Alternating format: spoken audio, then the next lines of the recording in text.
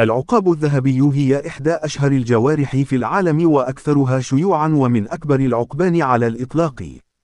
ريش هذه الطيور لونا بنيا قاتما بأغلبه، وما يقع منه على العنق والرأس أبهت ضارب إلى الذهبي.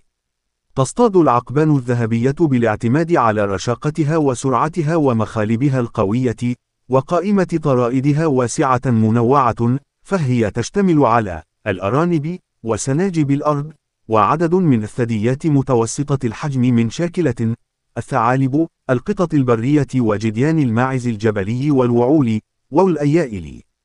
كذلك فإنها تقتات على الجيفة بحال ندرة الطرائد، وعلى حيوانات تفترسها مثل الزواحف والطيور الضخمة من والنوارس الكبرى أيضا يعرف عن العقبان الذهبية وتستخدمها في صيد الذئاب. العقبان الذهبية طيور أحادية التزاوج، أي أنها تكتفي بشريك واحد طيلة حياتها.